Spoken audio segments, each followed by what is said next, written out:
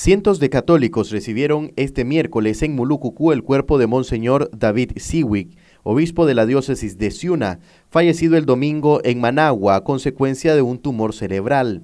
El cuerpo del religioso llegó a Mulucucú desde Managua, transportado en helicóptero.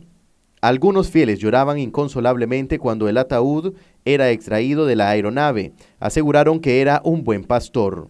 Monseñor David será sepultado el jueves y su cuerpo será depositado en la cripta de la Catedral de Ciuna. Se espera que el jueves participen de sus honras fúnebres los obispos de la Conferencia Episcopal de Nicaragua y el nuncio apostólico Monseñor Waldemar Stanislao. El obispo Siwi es de origen estadounidense, nació el 15 de julio de 1947 y arribó a Nicaragua en enero de 1975. Era filósofo y teólogo. Comenzó su noviciado con la Orden Capuchina en 1965 y fue ordenado sacerdote en 1974.